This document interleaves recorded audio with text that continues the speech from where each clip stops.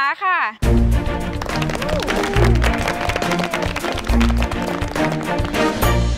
ก็ด้านล่างจะเป็น crumble hazelnut ตรงกลางเป็นมูสช็อกโกแลตชั้นบนสุดจะเป็นนมข้นหวานเคี่ยวกับเบอร์รี่ แต่ว่าจะซ่อนรูปของนมข้นหวาน แล้วก็เซตตัวด้วยเจลาติน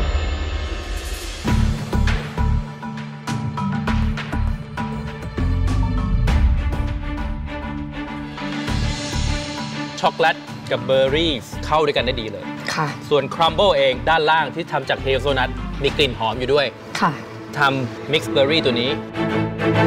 ได้ดีมาก เก่งมากครับ ขอบคุณค่ะเชฟอืมหอม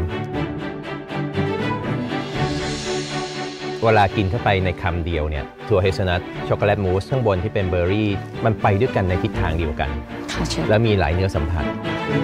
มันออกมาดีมากขอบคุณค่ะ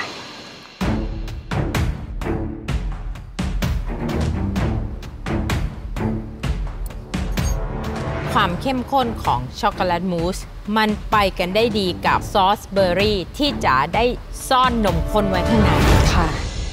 ไม่อยากเชื่อนะ ว่าบอกไม่ทำขนมเนี่ยไม่ทำแต่ฝึกฝน และเป็นขนมจานแรกใน Master Chef ซีซั่นนี้ด้วย ใช่ค่ะ จะประสบความสำเร็จมากมากตั้งใจต่อไปนะจ๋า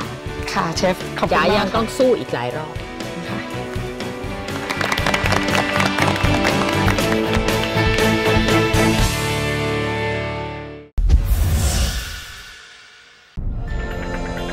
8 group.